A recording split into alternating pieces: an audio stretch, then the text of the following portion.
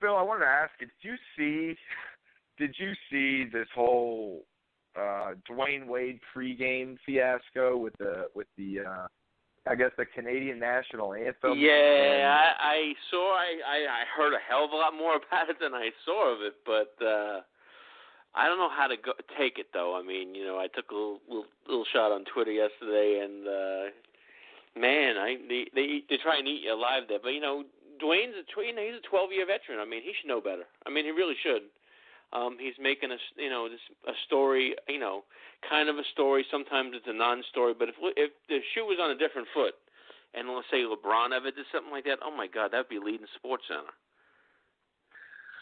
Yeah, and the fact that it's LeBron, it would it would make it an even bigger story, no question. But I just this is just so this is just so irrelevant and so dumb, and people just love it. It's another example of how people just love to find something to be up in arms about and really to to bitch about.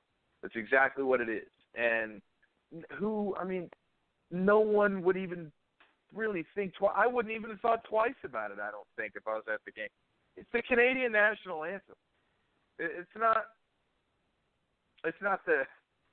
It's not the American national anthem. It's not. Like, well, I am curious to know what he was doing during the United States national anthem. I don't know if, they play one before the other, or if he got in line for that, or what it was. But I mean, come on. I, I don't even think it, it. This should. This should matter, and it just shows that people just love finding something to freak out about. And it uh I don't know, it kind of just made me laugh because now he's going to come out and apologize for something. It's like, geez. Now I don't think he'll make ends because no, I don't it obviously so. turned into something. But man, give the guy a break. Yeah, what they were saying was he always does that ritual where he kind of has to hit his last shot, and he kept missing it. So supposedly, I I didn't see the whole thing. I kind of go bits and pieces of it.